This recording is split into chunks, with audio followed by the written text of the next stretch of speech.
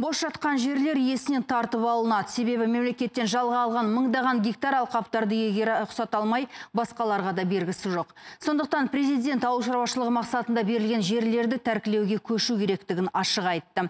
Сондай ақ қазақтың шұрайлы жерлеріне өзгелердің көз салуына жол берілмейтіндігін, шетелдіктерге сатылмайтындығын шегелеп айтты.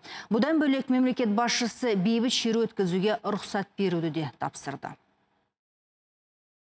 Согласно Конституции, наши граждане обладают правом свободного волеизъявления. Митингтер туралы заңнаманы жетілдіру қажет. Конституцияға сәйкес азаматтарымыз өз ойын еркін білдіру құқығына ие. Егер ондай акциялар заң шеңберінде өтіп, азаматтардың тыныштығын бұзбайтын болса, қолдау білдіріп, заңда көрсетілген тәртіп бойынша митинг өткізуге рұқсат берілу керек. Ол үшін қаланың ішінен арнайы орын бөліну керек.